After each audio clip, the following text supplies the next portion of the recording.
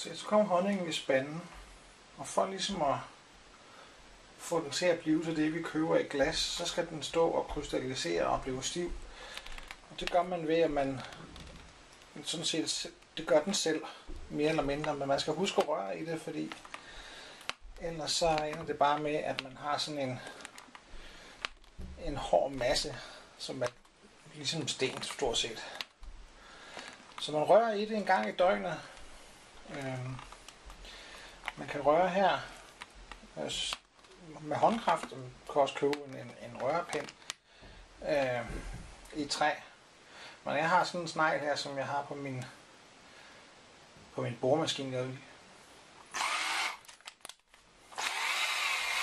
Jeg starter altid med at lige røre lidt i den først med håndkraft, for ligesom at mærke, hvor langt øh, hvad kan man sige, den er kommet i processen.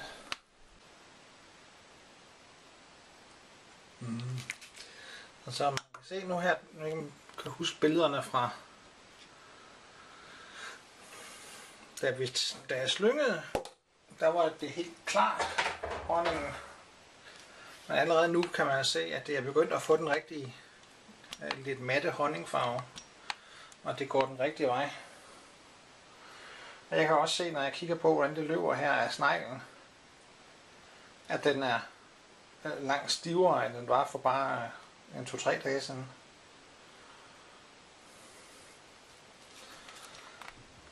Processen gentager sig selvfølgelig her i den anden spand.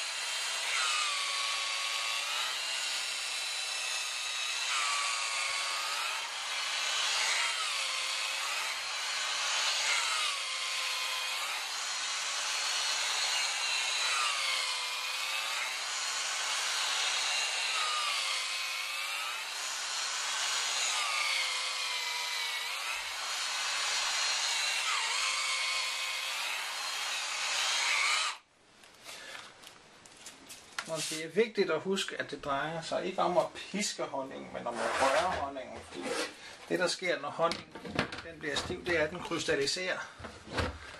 Men vi skal have krystallerne til at have den rigtige størrelse. Fordi ellers så bliver det noget værd noget. Så hvis man pisker honningen, så kan man faktisk ødelægge den. Øh, men hvis man lader være, med at piske den, så er det så også galt. Eller lad lade være med at røre den, så er det selvfølgelig også galt.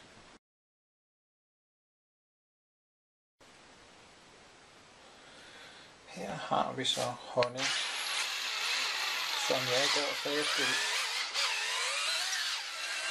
pakkes i dag. Det skal det da i hvert fald også, kan jeg sige.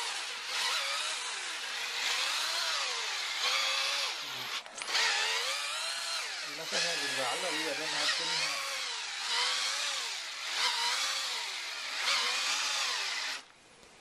Sammenlignet med den anden tynde herovre er det jo tydeligt at se, at den er ikke klar til at blive tabt nu. Den er stadigvæk gennemsigtig.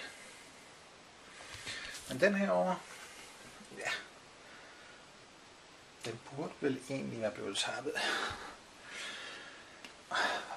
i går aftes sent. Men det er jo svært at gætte sig til. For da jeg rørte den, var den ikke helt klar. Så.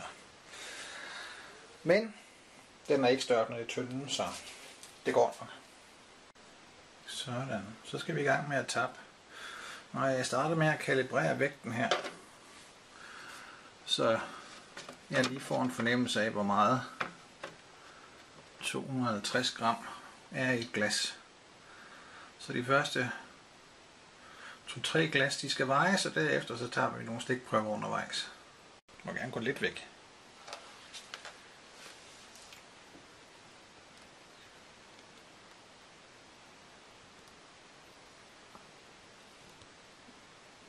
Nummer, nummer.